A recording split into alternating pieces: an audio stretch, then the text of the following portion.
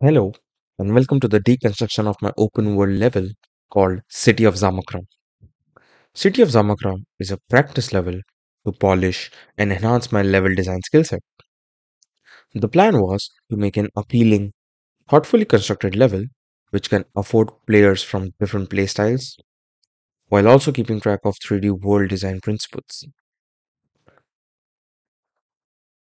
For instance, framing. Framing is a concept that draws from players' attention to a specific target or point. The aim is to achieve this focus inducing technique as naturally as possible. Although this term is widely popular in architecture, we can look at a few examples from games. Here in Assassin's Creed Origins, the giant statues either side of the player direct the player's focus to the doorway, which is at the center of the screen. Similarly, in The Legend of Zelda Breath of the Wild, the enemy's placement directs us to the center of the screen, presumably in the Skull Cave. The second idea is the approach. This might also be taken from another industry. However, we see this appear in games now more than ever. Also, a well done approach feels more natural and allows for more modularity. Here's an example demonstrated by an article deconstructing Legend of Zelda Breath of the Wild. They showcase an interesting example where players have to reach the same spot but have to go around an, another area, potentially another point of interest. The objective can be seen asking attention from the players from behind another area. So keeping in, uh, keeping these so keeping these ideologies in mind, I decided to get to pen and paper and work on some ideas.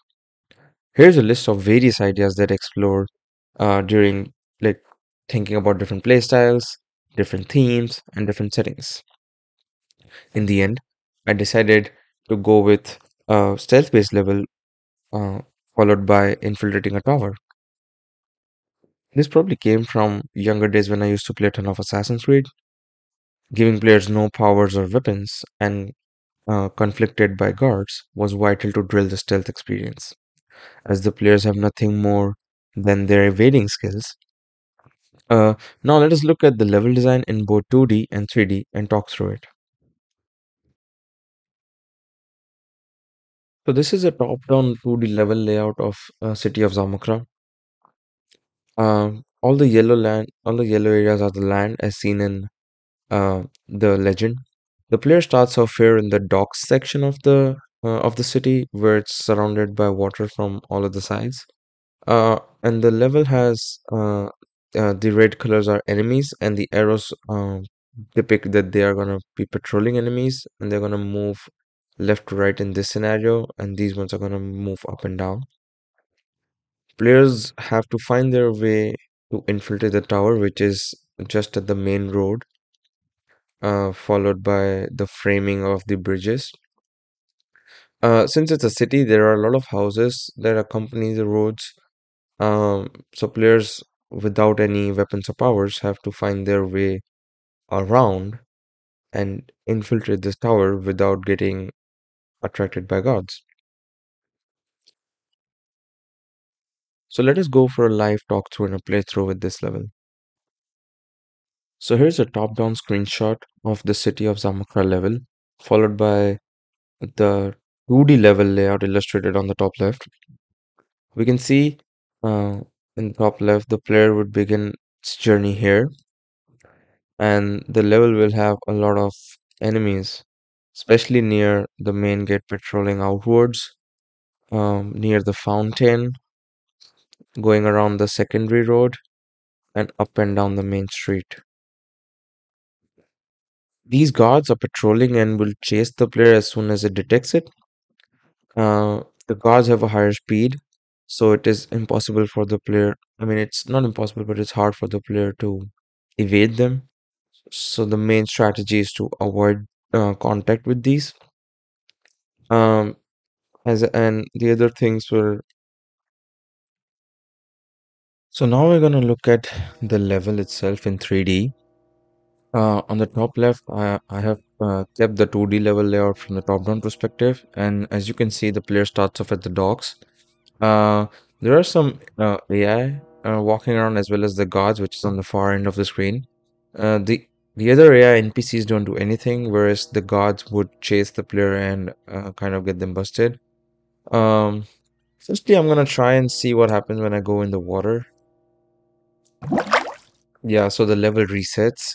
So the really, so the only really way for the players to go out to infiltrate the tower is uh, go back to the port. Uh, and just to demonstrate for purposes, I'm gonna go uh, run in front of an AI and see what they do. Yes. Uh, so we get busted, so we really can't do anything. I'm gonna try and uh, so as you can see on the top, um, there are some AI right at the gate. So you can see the tower really in the middle of the screen, kind of uh, having the framing uh, coming in. But the approach, uh, which is key here, uh, although the, there is a main gate in the center, the approach is not the direct. The direct way is not the approach. Uh, however, I'm gonna go ahead and try to sneak past my way to the guards, which is literally patrolling the gate. And I'm gonna wait for it and I'm gonna run. So as soon as the guard spots me, they are faster than me, so I get busted. So it's very hard for me to go through the center of uh, the city hall. Uh, the, the guard sensitivity makes it hard for me to showcase how the framing of the, the bridge is, but I'm still gonna try to do my good good job at it before I get busted by a ton of these. Um, so yeah, you can see the framing working. Um, I'm gonna make a run and I'm gonna show you how the how I intended for the players to run through it. Uh, so as you can see, uh, players can't go uh, to to the main gate, but uh, players can't go to the main gate, but going to the right doesn't really help either because there's nothing else on the right. However, uh, there's a left you can see some sort of a desert or something, uh, a tree which is abandoned, like a bungalow which is abandoned. If I try to go around it, uh, it's fenced and I cannot go past it. So, so the only way for the player again is uh, this doorway, which uh, I felt at time was like pretty small for the players to notice, but uh, I think it translated pretty well since there was literally no other way. And as soon as they enter here, they are past the fence. Uh, they can see the they can still see the tower, which is great. Helps with the framing and keeping the objective in screen. Um, again, the only way for the players here is to climb up. Um, and here a little technical challenge, but just using the uh, physics physics system and making a four stairs to climb up. And as I mentioned in the 2D construction, I've made a framing with uh, uh, on the top of the bungalow here as well with the top like the shade of uh, the cotton cloth uh, acting as a framing agent, whereas all the smaller buildings helping players guide the guide their attention to the tower. Um, I'm gonna stay silent and help you listen the city bells ringing.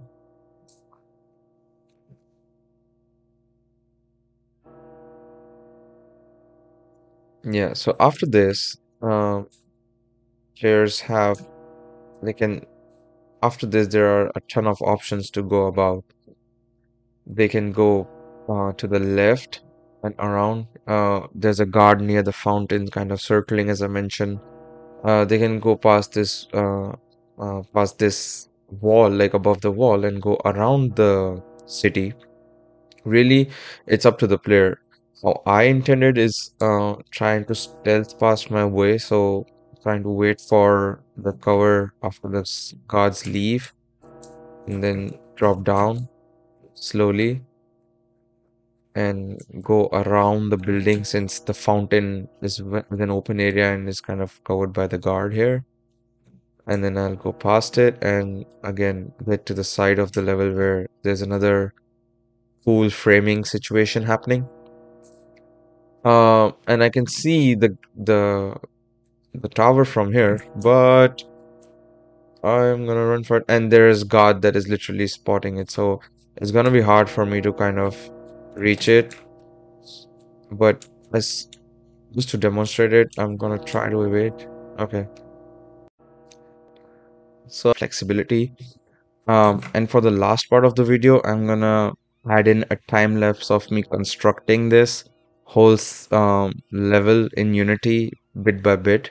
Uh, you can see how everything kind of got together uh, in terms of the pieces, the height variations, and what what kind of buildings I chose and why.